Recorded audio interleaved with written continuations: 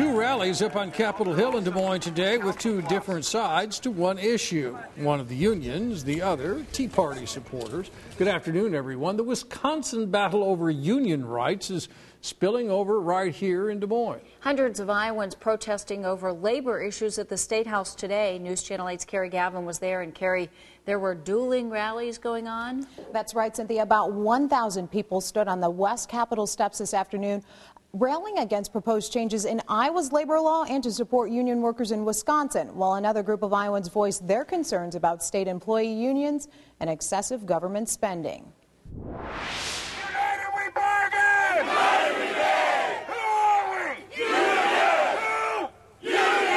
They came with signs, confidence, chants, and cheers. Let us now raise our joined hands as a sign of unity. Hundreds of Iowans lined the west steps of the State House to support what many call the backbone of the middle class. What's disgusting? Union busting! They are what build the middle class and keep the middle class where we're at. The protest in Madison, Wisconsin on the minds of many. Some worry that Iowa lawmakers will follow suit. It's pretty discouraging.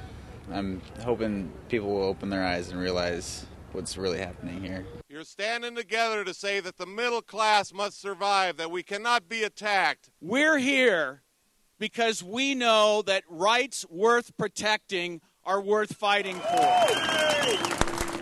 Instead of blaming public employees, we should be thanking public employees.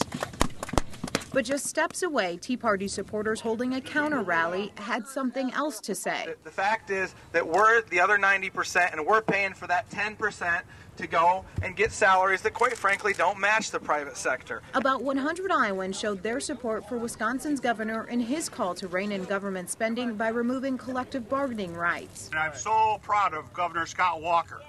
Where's the sympathy for our nation's debt? For our nation's debt. I think they're doing the right thing in Wisconsin. Uh, the governor needs to do what he needs to do to balance our budget, just like you and I do in our own personal lives. Sorry. Lots of people out there today. Now, today's rally by union supporters, which you first saw there first, also protesting a bill introduced in the Iowa House, which would allow the governor and the legislator to reject any negotiated pay and benefit deals with state workers. Now, the subcommittee was scheduled to meet and discuss that bill late this afternoon.